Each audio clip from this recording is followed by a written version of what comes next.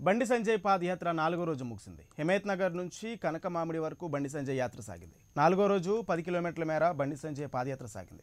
ఇవాళ రాత్రి కనకమామిడిలోని అయ్యప్ప దేవస్థానం పరిసర ప్రాంతంలో బండి సంజయ్ బస్ చేయనున్నారు. పాదయాత్రపై ఎప్పటికప్పుడు అమిత్ షా ఆరా తీస్తున్నారు కేంద్రం నుండి బండి సంజయ్కి ఫుల్ సపోర్ట్ అందుతుంది. బండి సంజయ్ పాదయాత్రకు మద్దతుగా తెలంగాణకు దేవేంద్ర ఫడ్నవీస్ తేజస్వి సూర్య రానున్నట్లు తెలుస్తోంది.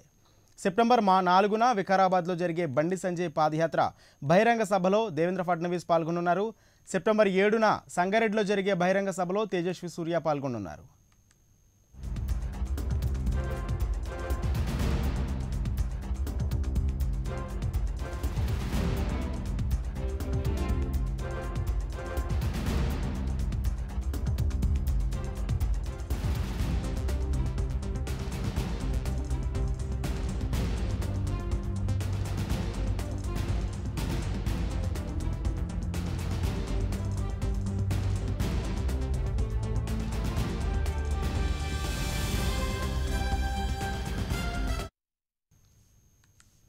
బండి సంజయ్ పాదయాత్ర నాలుగో రోజు ముగిసింది. హిమాయత్ నగర్ నుంచి కనకమావిడి వరకు బండి సంజయ్ యాత్ర సాగింది. ఇక నాలుగో రోజు పది కిలోమీటర్ల మేర బండి సంజయ్ పాదయాత్ర కొనసాగింది. ఇక మొత్తంగా బండి సంజయ్ పాదయాత్రకు సంబంధించి మరింత సమాచారం అందించడానికి మా ప్రతినిధి నేతాజీ లైవ్లో సిద్ధంగా ఉన్నారు నేతాజీ చెప్పండి నాలుగో రోజు విజయవంతంగా బండి సంజయ్ పాదయాత్ర ముగిసిన నేపథ్యంలో కేంద్రం నుంచి కూడా పెద్దలు కేంద్ర పెద్దలు బండి సంజయ్ పాదయాత్రకి మద్దతు తెలిపే అవకాశం ఉన్నట్టు కూడా తెలుస్తుంది. పూర్తి అప్డేట్స్ ఏంటి?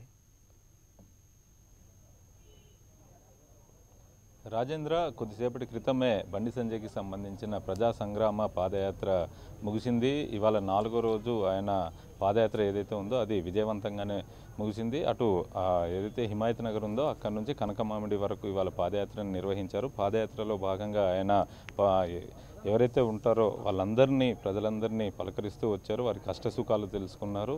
ప్రస్తుతానికైతే ఇవాళ రాత్రికి ఇక్కడ ఆయన బస చేయనున్నారు రేపు ఇక్కడ నుంచి పాదయాత్ర ఐదో రోజు ప్రారంభమవుతుంది.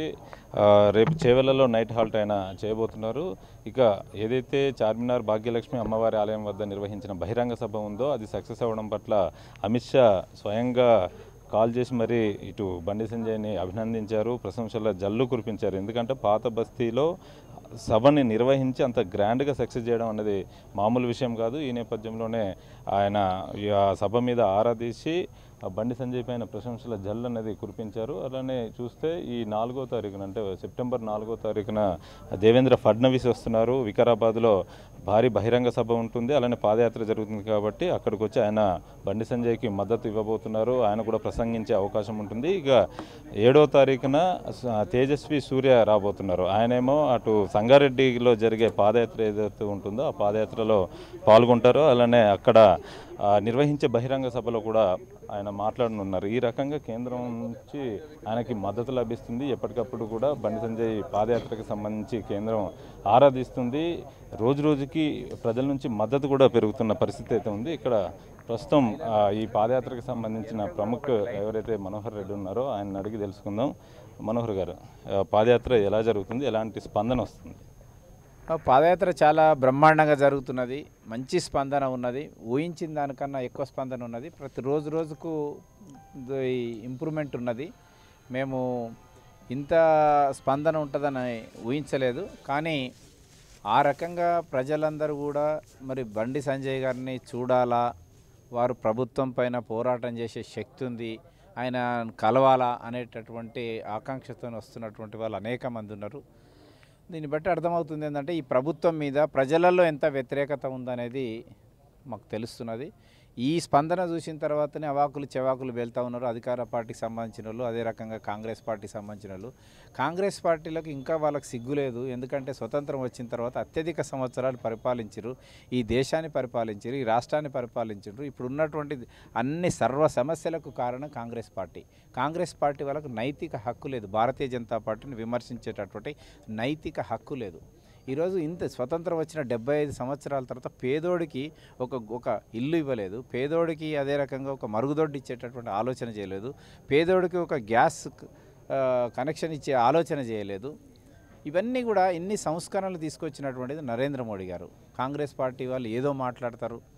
కాబట్టి ఒకసారి మీరు అర్థం చేసుకోవాలి. ఈరోజు ఈ యొక్క స్పందన చూసి అదే రకంగా మరి వేలాది మంది పాదయాత్రలు వస్తున్నటువంటి చూసి జీర్ణించుకోలేక ఈ రకంగా మాట్లాడుతున్నారు. టీఆర్ఎస్ పార్టీ వాళ్ళైతే వాళ్ళు రోజులు లెక్క పెట్టుకోవాలా? ఇక కేవలం మూడు సంవత్సరాలు మాత్రమే ఉన్నది. ఏడు సంవత్సరాలల్లో చేయలేనన్ని పనులు మూడేళ్ళల్లో చేస్తా అని చెప్పేసి వాగ్దానం చేస్తారు ఈరోజు ఎవరు ప్రజలు నమ్మే పరిస్థితుల్లో లేరు. కాబట్టి మూడేళ్ళల్లో చేయలేరు అనేది అందరూ కూడా ఆ రకమైనటువంటి ఆలోచనకు వచ్చారు కాబట్టి ఈరోజు ఇంకా వెళ్తూ ఉంటే మున్ముందుకు ముందుకు వెళ్తూ ఉంటే రేపు చేవెళ్ళ చేవెళ్ళ తర్వాత వికారాబాద్ వికారాబాద్ తర్వాత సదాశివపేట సంగారెడ్డి వెళ్తే ఇంకా స్పందన భారీ స్పందన వస్తుంది. జాతీయ నాయకులు కూడా పాల్గొంటున్నారు. ఈరోజు సంబిత్ పాత్ర గారు వచ్చారు. తర్వాత దేవేంద్ర ప- ఫడ్నవీస్ గారు వస్తారు. అదేవిధంగా తేజస్వి సూర్య గారు వస్తారు. రమణ్ సింగ్ గారు వస్తారు. జాతీయ నాయకులు అందరూ కూడా ఈరోజు బీజేపీ చేసేటటువంటి పాదయాత్రని మద్దతిస్తూ వాళ్ళు కూడా నేను మేము సైతం మీతో పాటు ఉన్నాము. తెలంగాణ రాష్ట్రంలో అధికారంలోకి రావాలా? బీజేపీలో కేంద్రంలో బీజేపీ ప్రభుత్వం ఉండి రాష్ట్రంలో టీఆర్ఎస్ ప్రభుత్వం ఉండటం కారణం చేత బీజేపీ ప్ర పథకాలు అన్నీ కూడా సమర్థవంతంగా ఈ రాష్ట్రంలో అమలవ్వట్లేదు. చాలా పథకాలను పేరు మారుస్తున్నారు దారి మళ్ళిస్తున్నారు నిధుల దుర్వినియోగం జరుగుతూ ఉన్నది. కాబట్టి ఇక్కడ కూడా ప్రభుత్వం ఏర్పడినట్టయితే మనం అనుకున్నటువంటి లక్ష్యం మన యొక్క ఉద్దేశం ఏదనే తెలంగాణలో నెరవేరుతుంది అనేటటువంటి ఆలోచన ఉంది పాదయాత్రలో ప్రధానంగా మీ దృష్టికి వస్తున్న సమస్యలు ఏంటి ప్రజల నుంచి?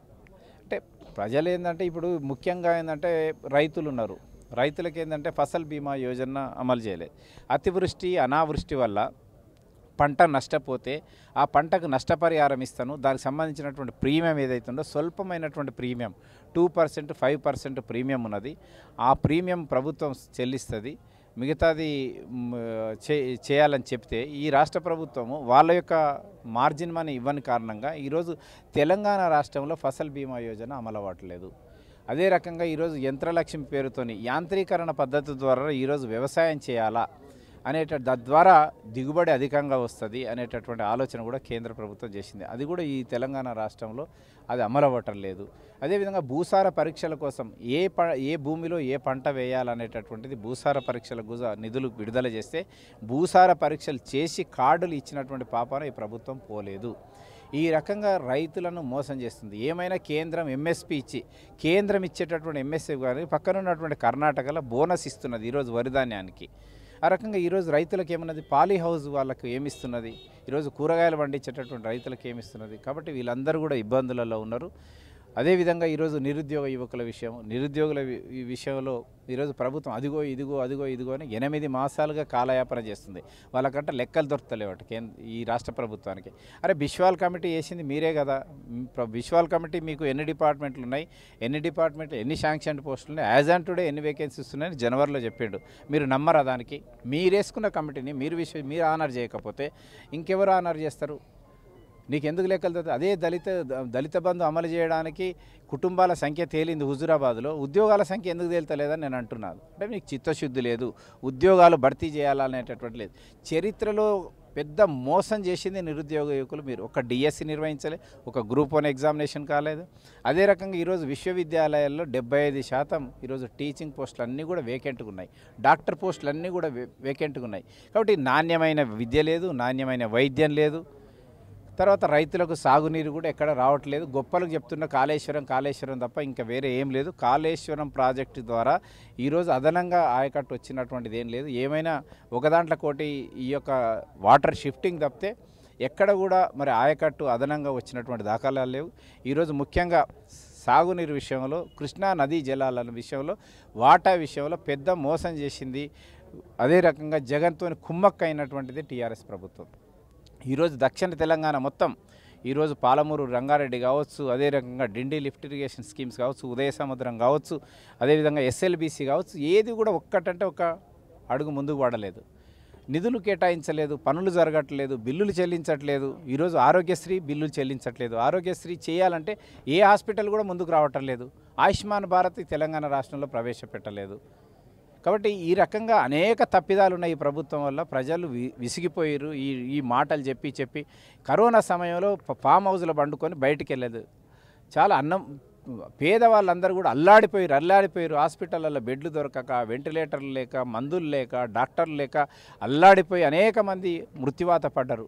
ఆ సమయంలో బయటికి వెళ్ళనటువంటి ముఖ్యమంత్రి మరి వెంటనే కరోనా తగ్గుముఖం పట్టిన తర్వాత వాసాల మర్రికి పోయి సహపంక్తి భోజనాలు చేసిండు. అంటే మై మరిపించేటటువంటి ప్రయత్నం చేసిండు. ఒక్కరోజు మీరు భోజనాలు పెడితే మీరు మీరేవైతే కష్టకాలంలో కరోనా సమయంలో పేదవాడిని రక్తం పీల్చుకు తిన్నారు దవాఖానలు ప్రైవేట్ హాస్పిటల్లో లక్షల రూపాయలు ఆస్తులు అమ్ముకున్నారు తమకు దాచుకున్నటువంటి బంగారాన్ని అమ్ముకున్నారు భూములను అమ్ముకున్నారు ఇంత ఇంత దుస్థితి తెలంగాణలో ఉన్నది. కేంద్రం నుంచి తప్పుడు నివేదికలు ఇచ్చినంత కారణంగా ఎంతైతే మనకు లబ్ధి జరగాలో ఎంతైతే ఎంతైతే మేలు జరగాలనో కరోనా సమయంలో మీ యొక్క రిపోర్ట్ల వల్ల తప్పుడు నివేదికల కారణంగా తెలంగాణ రాష్ట్రంలో ఈరోజు కరోనాను మీరు పెంచి కరోనా పెరిగింది కరోనా వృద్ధి అయ్యింది తర్వాత అక్కడ మేలు జరగలేదు. సంజయ్ గారి కాలికి గాయమైన పాదయాత్రను కొనసాగిస్తున్నారు.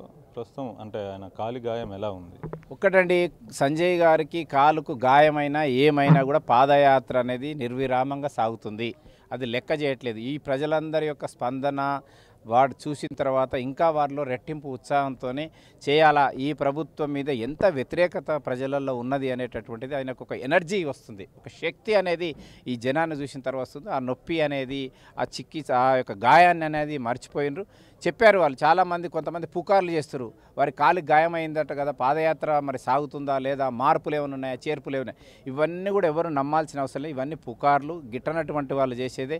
వారు ఏమైనా సరే పాదయాత్ర అనేది మరి మొదటి విడతది కొనసాగుతుంది. అదేవిధంగా నెక్స్ట్ విడత కూడా పార్లమెంటు సమావేశాలు దృష్టిలో పెట్టుకుని ఆ రకంగా సెకండ్ ఫేజ్ కూడా ప్లాన్ చేస్తాం. ఏది ఏమైనా రెండు వేల ఇరవై మూడు వరకు ఊరూరికి వెళ్ళాల్సిందే. నీ ప్రతి నియోజకవర్గానికి వెళ్తాం. ఈ ప్రభుత్వం యొక్క చే- ఈ ప్రభుత్వం యొక్క వైఖరి ఈ యొక్క అరాచక పాలన కావచ్చు అక్రమ సంపాదనలు కావచ్చు అవినీతి కావచ్చు కుటుంబ పాలన కావచ్చు అహంకారానికి ఇవన్నీ కూడా ప్రజలకు వివరిస్తాం. ఈ ప్రభుత్వాన్ని గద్దె దింపి భారతీయ జనతా పార్టీ ప్రభుత్వాన్ని తెలంగాణ రాష్ట్రంలో ఏర్పరిచి బీజేపీ పాలిత రాష్ట్రాల్లో జరుగుతున్నటువంటి అభివృద్ధి ఇక్కడ కూడా చేస్తాం. కాబట్టి ఈ స్కీములు ఏవైతే ఉన్నాయో ఇవన్నీ కూడా తాత్కాలికమైన స్కీములు. ఏవి కూడా పేదరికాన్ని దూరం చేయలేరు. శాశ్వతంగా వాళ్ళ యొక్క వా ప్రజల యొక్క జీవన ప్రమాణాలను మెరుగుపరిచేటటువంటి పథకాలు ఏవి కూడా లేవు. అవన్నీ కూడా ఏంటంటే టెంపరీ రిలీఫ్ పథకాలు తప్ప ఇవేవి కూడా అతని యొక్క కుటుంబంలో ఒక ఒక ఒక ప్రమాణాలను పెంచేటటువంటి ఈ స్కీమ్స్ ఏవి కూడా లేవు. అవన్నీ కూడా ఎదురు చూసే స్కీములు. ప్రభుత్వం ఎప్పుడు ఇస్తుందా అని చేయి జాపేసేటటువంటి పథకాలు తప్ప ఆ కుటుంబంలో ఒక ఉద్యోగమో ఒక ఉపాధి కనుక చేసినట్టయితే ఆ కుటుంబం స్థిరపడుతుంది. వీటి మీద దృష్టి పెట్టట్లేదు ఈ ప్రభుత్వము. ఈ ప్రభుత్వం ఏమైనా vote bank vote bank vote bank ఎవరికి ఏమి ఇస్తే ఓట్లు వేస్తారు ఎవరికి ఏమి ఇస్తే ఓటు వేస్తారు అనేటటువంటి దేవ దీనికోసం తెలంగాణ తెచ్చుకోలే మనం. శాశ్వతంగా పేదరికం పోతుంది శాశ్వతంగా మనకు సాగునీరు వస్తుంది. సా మన నిధులు ఉన్నాయి పరిశ్రమలు నెలకొల్పుతాము ఉపాధి అవకాశాలు ఉద్యోగ అవకాశాలు పెరుగుతాయని తెచ్చింది తప్ప ఈ దౌర్భాగ్యం ఈ ఈ బిచ్చమెత్తుకునే స్కీముల కోసం వరకు కూడా మన దేలే ఓకే అండి. ఇది మొత్తంగా బండి సంజయ్కి సంబంధించిన కాలిగాయం ఏదైతే ఉందో అది అలా ఉన్నప్పటికీ కూడా పాదయాత్ర అన్నది కొనసాగుతూనే ఉంటుంది. పుకార్లు నమ్మకూడదు. వచ్చే ఎన్నికల్లో ఖచ్చితంగా బీజేపీ అధికారంలోకి వస్తుంది అన్నట్టుగా మనోహర్ రెడ్డి చెప్తున్నారు. Right thank you Netaji